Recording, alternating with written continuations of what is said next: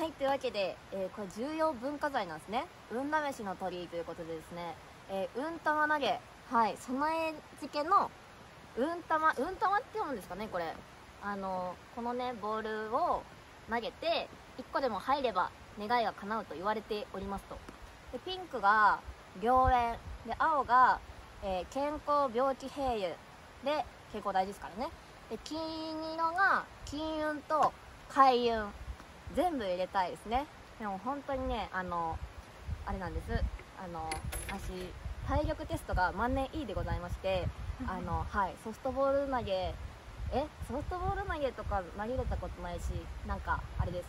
立ち幅跳び9 0センチの人でしたのでバスケット入ったことないのでもうボールは本当に苦手なんですけどテニスあれできたことないしサーブ。まあ行ってみようと思います。頑張れはいじゃあ金運からいきますじゃあやっぱ健康からいこう。健康からいきます。はい。はい。えむずい。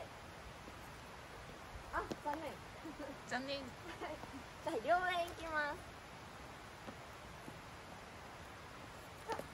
ああー惜しかった惜しかった惜しかった。惜しい。惜しかった。惜しかったですね今のね。じゃあ最後金運開運いきます。これ入ったらもうねオールオッケーでしょう入れあはいということで今年の運試しでした